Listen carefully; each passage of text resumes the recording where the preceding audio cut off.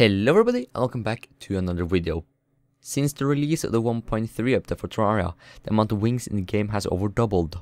There are now a grand total of 36 available wings for the PC version. The wings which you can see on screen right now are ranked from worst to best.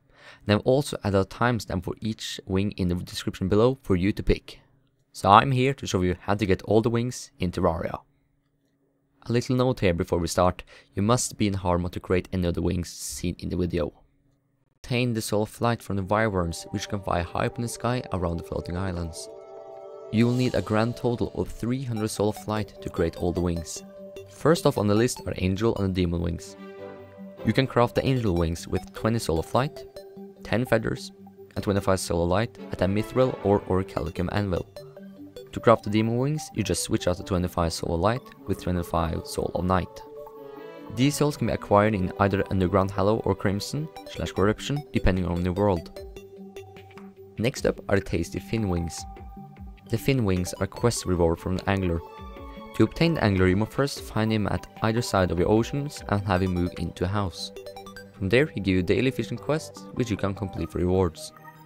The chance of getting the fin wings increase after how many quests you have completed. The more quests, the higher chance. The jetpack is a buyable item from the steampunker who will move into your house once you have defeated a mechanical boss. The jetpack is only sold on a waxing moon, which is between a new moon to a full moon and costs 40 gold. For the bee wings, you will need to acquire a tattered bee wing, which is dropped by the moss hornets in the underground jungle. Combine it with 20 soul of flight at an anvil to create the wings. Next up are fabulous butterfly wings. To make the butterfly wings, you'll need to find a rare moth in the underground jungle and acquire some butterfly dust from it. Then simply combine it with 20 soul flight at an anvil. If you want to cosplay as Tinkerbell or take revenge on Navi, then this is the item for you. To make the Fairy wings, you simply need to obtain 100 pixie dust and 20 soul of light and craft them at an anvil. If you want to honor Sir Christopher Lee with style, or fight as the Dark Knight, then you should get a hold of the Batwings. To create the Batwings, you simply need to kill vampires during a solar eclipse and get a hold of one of their precious Batwings. Then you combine it with 20 soul of light at an anvil once more. The solar eclipse are now a summonable event with a solar tablet. Next on the list is the not as cool but still fashionable Harpy Wings. The Harpy Wings are created with a giant harpy feather, which you can obtain for killing harpies. Then combine the giant harpy feather with 20 soul of light at an anvil once again. The giant harpy feather is the only wing material item which can obtain before hard mode. So if you want to be early out for hard mode, this is the wings for you. Now onto the least effective wings, the bone wings. Once in hard mode, you can get a hold of a bone feather when you are in the hard mode dungeon by killing armor bones of any kind. Then you simply combine it with 20 soul of light at an anvil. Now onto the developer wings. These wings are only obtainable in the expert mode of the game. The wings are rare drop from the hard mode boss's treasure bags, and all wings have a 5% chance of dropping. All the wings have the same stats and abilities, except Leisure's barrier platform and Yoraiz0r's spell, which can fly horizontally by holding down space and a down key at the same time. The exceptionally big Mothron wings are a rare drop on the Mothron mini-boss during a solar eclipse. The leaf wings are purchasable from the witch doctor, who moves in once you defeated the queen bee. If you make a house for him in the hard mode jungle, he will be available to sail with the leaf wings at night for one platinum coin. The ice called frozen wings you can create with an ice feather, which is a rare drop on the ice golem, which only spawns in snow biomes during a snowstorm. A snowstorm is the equivalent of rain in other biomes. Once I acquire the feather, you simply combine it with 20 soul of light at an anvil once again. The very hot flame wings are craftable with a fire feather, which is a rare drop from the red devils in the underworld. Combine it with 20 soul of light at an anvil and you got to sell some wings.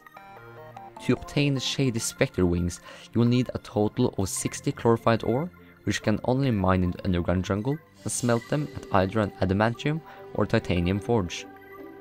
Then you'll need to get 5 ectoplasm, which you can get from killing skeletons in a dungeon, then smelt the 10 chlorophyte bars with the 5 ectoplasm to make 10 spectre bars. Now spice up the bars with 20 soul of light at an anvil and you got yourself the spectre wings. To create the beetle wings, you'll need a total of 8 beetle husks, which is dropped by the golem in the Lizard Temple. You spawn the golem with power cells, which you can either obtain from mobs or chests within the temple. Once you got a hold of your beetle husks, then combine them with 20 soul of flight at an anvil once again. When you get a hold of this item, you won't need roads anymore. To craft the hoverboard, you'll need a total of 108 chlorophyte ore, 270 glowing mushrooms, and an auto hammer which you can buy from Truffle, and then combine it all together. Once you have gotten hold of your 18 Shroomite bars, add 20 soul of flight at an anvil once again, and you got yourself a hoverboard. The hoverboard also have the ability to glide horizontally by holding down space and the down key at the same time. The festive wings are a rare drop from the Everscream boss during the Frostmoon event. The drop chance increase the more waves you clear. As for the spooky wings and the tattered fairy wings, you'll need to kill the Mourning Wood boss and the pumpkin boss during the pumpkin moon. As with the festive wings, the drop chance increase the more waves you clear. When you are done, add 20 soul of flight with the spooky twig and the black fairy dust at an anvil once again. You can now buy the steampunk wings from the steampunker for 1 platinum coin once you have defeated the golem. First of all, the Fishron wings are better than the Vortex booster and the Stardust wings, but I decided to show it first for the sake of explanation later on. The Fishron wings are a rare drop from the Duke Fishron boss, which is a spawnable boss if you obtain a truffle worm from the underground mushroom biome. When you have gotten a hold of a truffle worm, go to one of the oceans and start fishing with it. This will spawn Duke Fishron.